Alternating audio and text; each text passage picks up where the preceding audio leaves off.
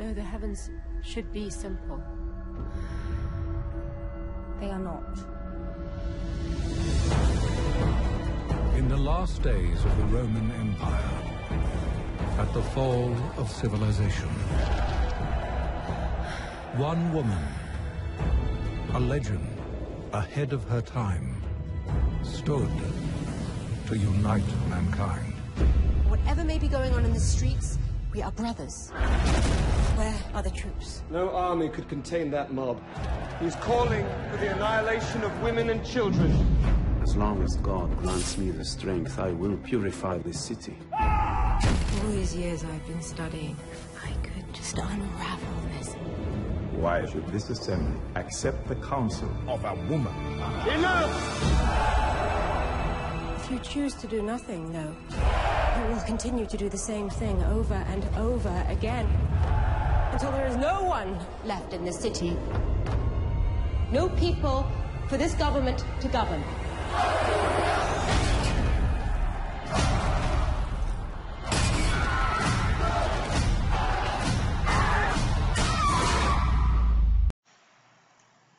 Hypatia of Alexandria Before I begin about Hypatia, here is a little historical background.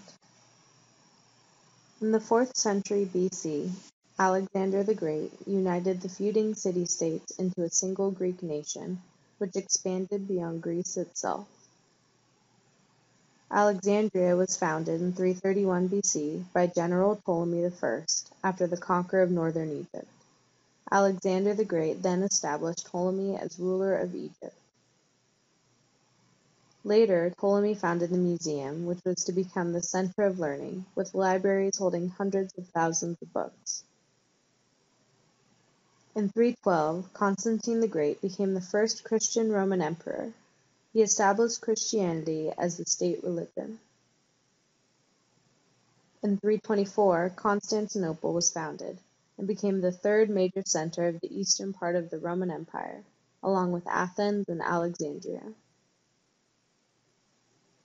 In 364, the Roman Empire split. The Western Empire was ruled from Rome, while the Eastern Empire was ruled from Constantinople, which controlled Alexandria. Theon of Alexandria, father of Hypatia, was born sometime between 340 and 365. In 412, Saint Cyril of Alexandria became the new archbishop. The previous archbishop, Cyril's uncle, Theophilus, orchestrated a powerful private militia of Nitrian monks, and demolished the temple of Serapis, as well as put an end to the museum built by Ptolemy. Cyril followed his uncle's footsteps with now his private militia, and closed and destroyed the Novatian churches. This led the Jewish extremists to carry out a massacre of Christians, which then led to the expulsion of Jews from Alexandria by Cyril. This was the start of the battle of power between Cyril and Orestes. The civil governor of Alexandria, Orestes, flourished in 415. He was Christian, but a tolerant Christian that was accepting of other religions and philosophies. This made him far from godly in the eyes of his fellow Christians. Orestes even took frequent counsel with Hypatia. That same year in 415 was the death of Hypatia. Hypatia was known for her physical and intellectual beauty, and was bragged about by many, including Damascius and Socrates. No one doubted Hypatia's intelligence or authority. Hypatia was born sometime between 350 and 375. Unfortunately, she is mostly recorded for her death. As quoted in the book, she was a pagan and Neoplatonist in a city where Christians, both orthodox and heretical, secular and ecclesiastical authorities, pagans of highly diverse views, and Jews, all coexisted in mutual enmity. As part of her devotion to her work and beliefs, Hypatia never married and had a dedication to celibacy. Hypatia was also an astronomer, geometer, and algebraist. She received the majority of her mathematical education from her father. Hypatia also did a lot of her work with people of Synesius, It is possible that she was the only higher learning available in Alexandria, because of no reference to any other teachers. Hypatia lived the majority of her days as a philosopher. She would go into the middle of town to give public speeches. It is said that her beliefs and values helped tolerate many Christians. Here is a clip depicting Hypatia with some of her students, including Orestes. Earth is the center of the cosmos, and revolving around it, the sun and the five wanderers, Mercury, Venus, Mars, Jupiter, and Saturn, obstinately disobeying the law of the circle.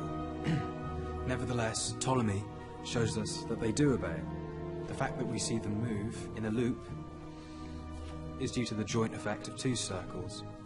One that travels around the Earth, and another lesser circle, proper to each wanderer. Well, look, they're disciples. So you see, it's not heaven that errs, but our eyes that deceive us. Well said, Davus. I'd like you to know that your exposition shows me that you've been paying closer attention than uh, one or two others here. I tell you, the gods should have consulted me before they created anything. And why do you say that, Orestes? It all seems so whimsical. Why the joint effect of two circles? Wouldn't it be more perfect if the wanderers didn't wander? And a single circle gave sense to everything? Orestes, by what authority do you judge the work of God? What is wrong with you Christians? Can a man no longer open his mouth in this city? You criticize creation, you criticize our Lord, and you offend us. You should move out to the desert. You won't hear anything to offend you out there. You know nothing of what you speak. None of you.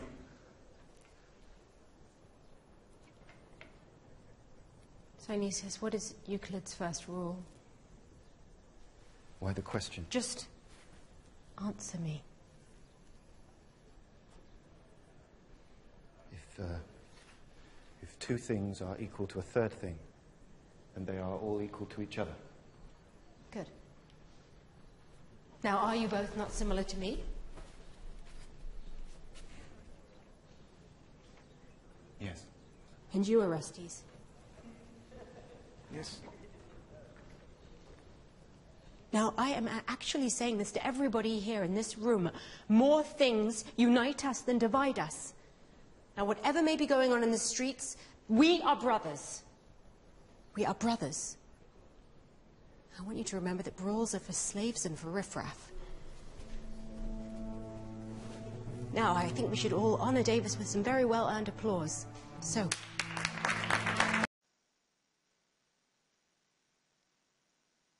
Hypatia's mother is unknown. Her father is Theon of Alexandria, born around 340, with an unknown date of death. He was an astronomer and mathematician, mainly as a commentator for mathematical works. He was a contemporary of Pappus, and after Pappus's death, Theon became the leading mathematician of his time.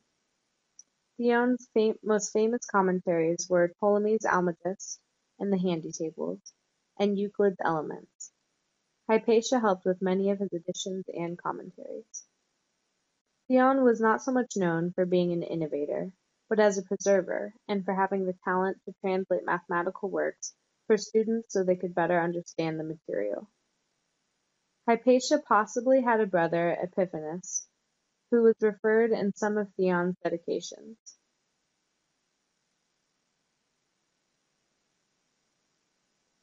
A crowd of Christian zealots, made up of monks of Nitria and followers of Cyril, along with leader Peter the Lector, blocked Hypatia's path and pulled her from her carriage. They then dragged her into a church, where they proceeded to strip her and batter her to death with roofing tiles. Afterwards, her body was torn apart and burned, fragment by fragment, throughout the church. It is possible her death was due to her pagan Neoplatonist beliefs, or because she was close to Orestes, who was fighting his own battle with Cyril. Either way, Hypatia's life was taken too early, for she still had much more to give. First is Hypatia's edition of her father's commentary of Ptolemy's Almagest. The Almagest is Ptolemy's version of the solar system and its motion. This commentary was written by her father, with help from Hypatia, and in it they introduced a certain long division algorithm specific to use in astronomy. Second is Hypatia's commentary on Apollonius's conics. Conics is an introduction to the property of the cone and the conic section. Third is Hypatia's commentary on the astronomical canon. It is argued whether this was an edition of Ptolemy's handy tables or a commentary of Ptolemy's Almagest. Fourth is Hypatia's commentary on Diophantus's Arithmetica. The Arithmetica is a collection of algebraic and number theory problems, along with their solutions. Unfortunately, any work outside of Hypatia's commentaries and editions were not recorded nor saved. Though there are some variations to the facts concerning Hypatia, it goes unquestioned that her contributions to philosophy and mathematics are invaluable. The clips earlier shown are from the movie Agora. The material from this presentation comes from Michael A. B. Deakin's book, Hypatia of Alexandria, Mathematician and Martyr. The book cites from three main sources, the Suda Lexicon, a 10th century encyclopedia, P.G., a collection of Greek writings important to the history of the Christian Church, and a narrative of the seventh century John of Nikiu.